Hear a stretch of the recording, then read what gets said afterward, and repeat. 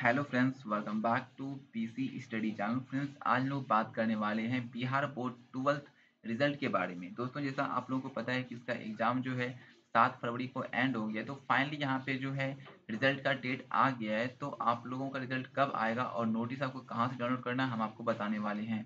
तो सबसे पहले आपको गूगल या क्रोम पे जाना वहाँ पे सर्च करना है एस ए आर के ए आर आई सरकारी R E S U L T result L I N K link dot com यहाँ पे सर्च कर लेंगे सर्च करने के बाद इस तरह पेज आ जाएगा। ऐसे मैं डिस्क्रिप्शन में लिंक दे दूँगा। तो वहाँ पे क्लिक करने के बाद डायरेक्ट यहाँ पे पहुँच जाओगे। यहाँ पे आने के बाद इस पर क्लिक कर देना है। मैं इस पर क्लिक कर देता हूँ। क्लिक करने के बाद आपको क्या करना है?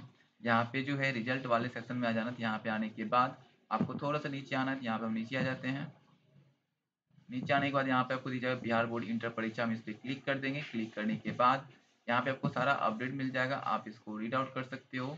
थोड़ा सा और नीचे आओगे तो यहाँ पे आपको सिलेबस और पैटर्न मिल जाएगा। थोड़ा सा और नीचे आओगे तो यहाँ पे आपको कैसे रिज़ल्ट डाउनलोड करना है स्टेप बाय स्टेप बताया गया है। थोड़ा सा और नीचे आओगे तो यहाँ पे आपको साइंस कॉमर्स और आर्ट्स के लिए लिंक दिया गया, जहाँ से आप रिज़ल्ट डाउनलोड कर सकते हो। जैसे रिज़ल्ट आएगा, यहाँ पे लिंक एक्टिव हो जाएगा।